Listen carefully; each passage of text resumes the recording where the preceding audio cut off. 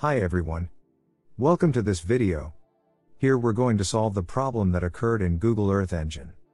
In an announcement that Google Earth Engine said on its website, starting November 13, 2024, all Earth Engine access will require a cloud project. We will be limiting quotas for accounts without cloud projects starting September 16, 2024. In other words, if you don't create a Google Cloud account until September 16, almost say goodbye to Google Earth Engine special features. In this video we're going to solve the issue, so let's begin and follow the video step by step. First of all, from the Platform tab select the Code Editor option, it directs us to the main page. As you can see, this message has also been written in the console section. Then we go to the Google Cloud website. We've put both Google Earth and Google Cloud website link in the description of this video for quick access. We click on the main link to enter the website. After opening the website, on the upper right side of the website click on the console option.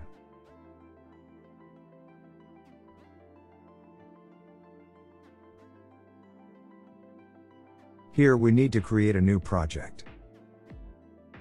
For this purpose, we click on the Select a Project option on the upper left side of the open page.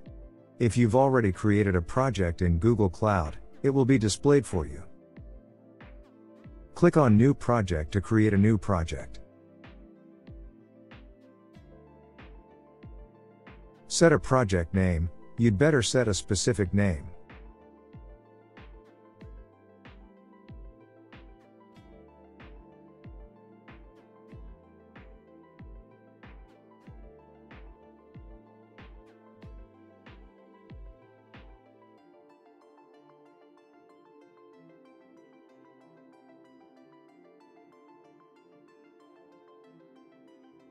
And click on Create option.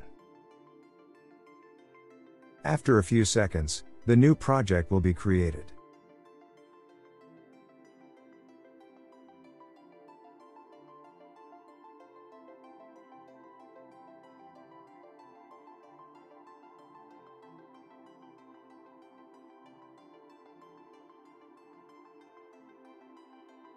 In the Select a Project section, you can see the created project.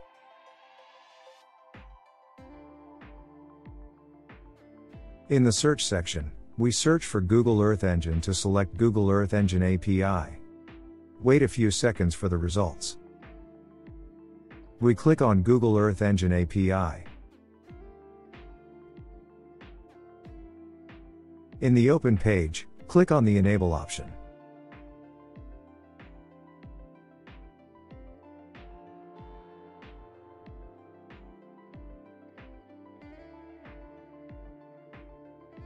Here Google Earth Engine API is well activated.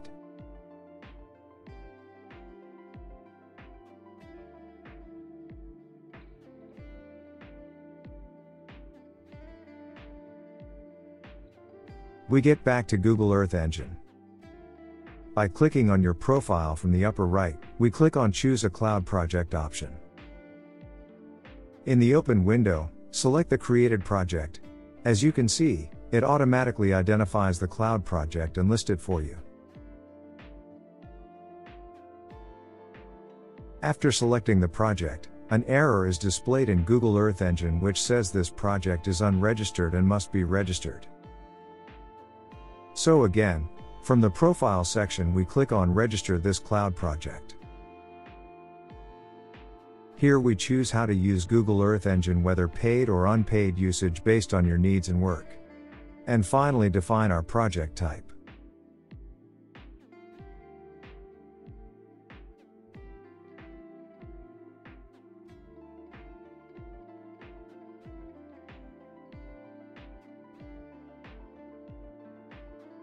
Here the problem of Google Earth Engine was solved correctly and you can solve the problem with this method. We go to the Assets section.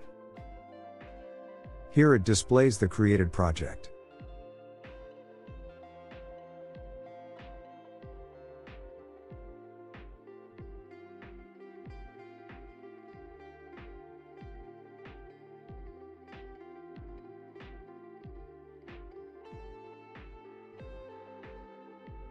You can create multiple projects as needed and import them into Google Earth Engine.